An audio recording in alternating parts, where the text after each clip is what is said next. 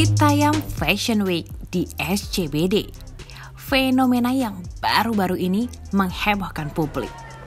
Di sini, di kawasan ini, Sudirman, tengah kota Jakarta jadi tempat berkumpulnya para remaja dari Citayam, Bojonggede, dan Depok. Para remaja bersuka cita dan mengekspresikan diri. Dari perkumpulan ini, memunculkan deretan sosok-sosok muda yang mendadak hits. JJ, Bonge, dan Kurma.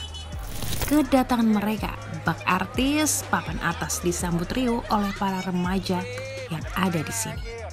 Tapi belakangan gak melulu soal Bonge dan JJ. Para remaja ini berkumpul jauh-jauh naik kereta, melakukan banyak hal. Bikin konten misalnya, atau cari teman baru. Lihat aja mereka. Searching for greatness in a sea of the dying and shameless uh, A sea of the aimless, I don't wanna be one of the nameless I'ma wake up with the mindset that one day I'm gonna make it And I don't think I'll be fine if I don't break my limitations Don't try to stop me, I exist to write my own Perkenalkan nama story gue Ripal. I'll make it Perkenalkan nama gue Fanya Nama saya Karisa.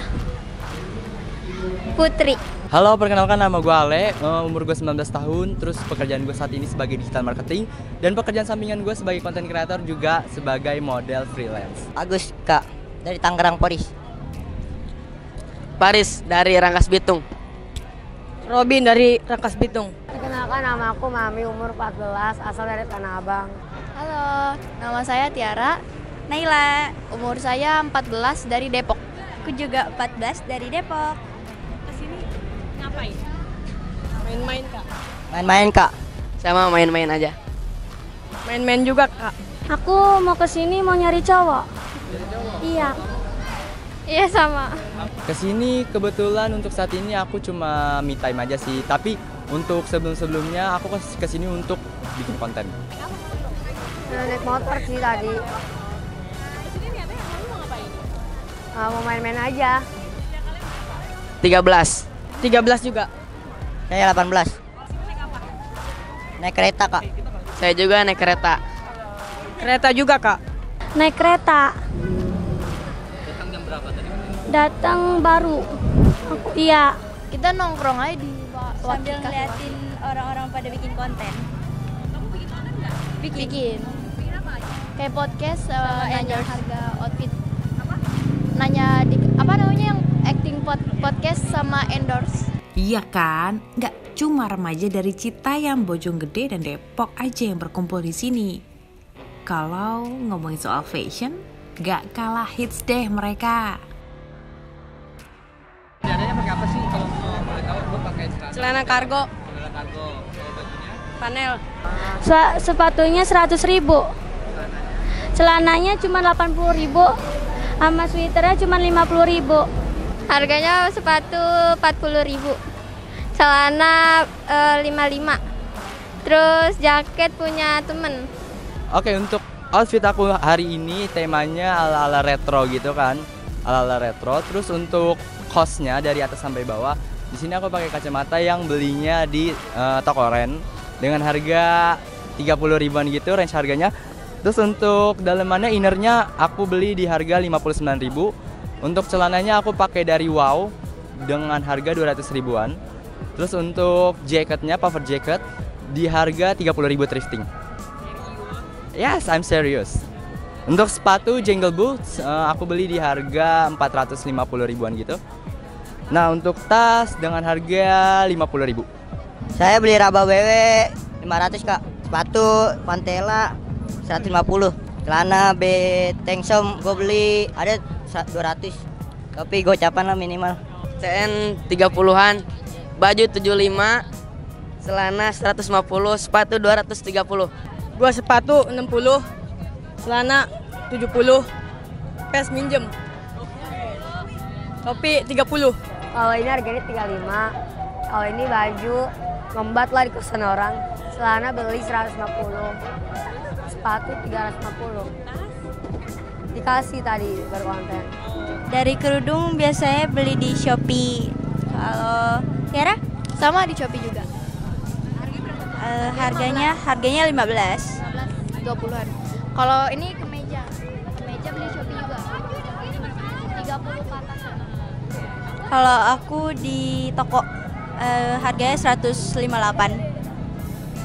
Eh, dalaman mansetnya Dalaman manset juga ini kaos kayak biasa tuh. Harganya 25 ke atas pengen 30 sama. mansetnya 48. Kalau aku celana kulot punya kakak. Kalau aku celana jeans eh, harganya 200. Sepatunya Shopee. Harganya Sendal Nike. Nike. harganya berapa? Nggak tahu. Punya kakak. Semakin sore, semakin ramai. Semakin malam, apalagi. Datang jauh-jauh naik kereta dari siang sampai malam, nongkrong di kawasan Sudirman. Bawa uang berapa ya? Kode 50. Sama 50. Udah jajan apa aja? Sama eh sama rokok doang. Baru apa namanya? Golda. Aku kadang-kadang 200, kadang-kadang 100 ribu.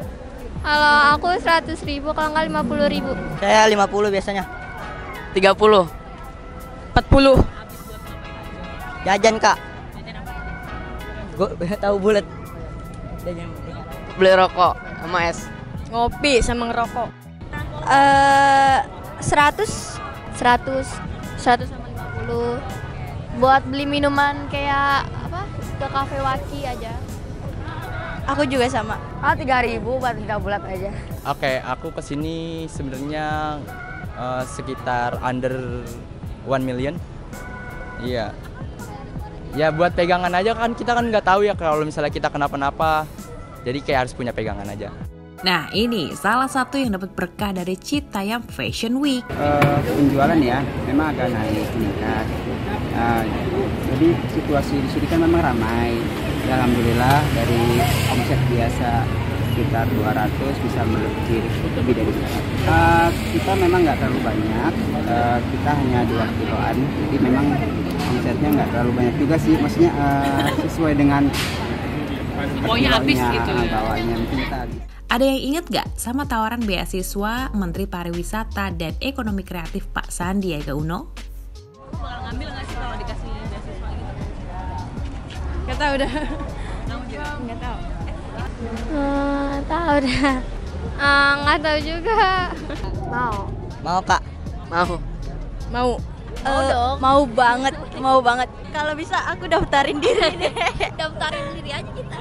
Pak Sandiaga Uno, please beasiswanya buat saya aja. Karena menurut aku ya kayak pendidikan itu sangat penting untuk ngerubah mindset kita, ngerubah pola pikir kita yang menjadikan kita jauh menjadi pribadi yang lebih baik. Mau gaya? Boleh aja. Mau bergaul atau bersosialisasi? Juga silahkan. Bikin konten? Sok. Tapi tolong, jangan nyampah kayak gini. Enggak. Enggak. Iya, saya langsung buang tadi aja. Apa? Oh, no, tadi kopi, sisanya. Iya bener sih, suka nyampah. nyampah. Lu jangan mau nyampah dong kayak gitu. Eh, saya mah kagak pernah. Kagak pernah. Kenapa? Kagak pernah. Kagak pernah nyampah. Kagak pernah saya mah. Nah, nih pungut. Pungut lah, pungut ambil. Iyalah. Enggak masuk. Harusnya gimana mereka? Buang sampah ke tempatnya. Ya, saya I'm so mad dengan perlakuan kayak gitu. Karena eh, aku juga anaknya go green banget ya, suka buang sampah pada tempatnya. Karena se- makin ke sini kan glo- global warming kan semakin kayak parah gitu kan. Ayolah kita sama-sama buang sampah pada tempatnya. Walaupun itu kayak apa ya? eh, simple sih, tapi kayak berpengaruh gitu buat bumi kita. Jangan buang sem- apa sampah sembarangan aja sih. Soalnya ini kan kota orang juga. Jangan buang sampah sembarangan aja. Buang sampah pada tempatnya. Mengekspresikan diri dengan tampil bergaya habis di Sudirman itu sih sah-sah aja. Siapa aja bisa datang ke sini. Mau gaya apa pun bakal diterima.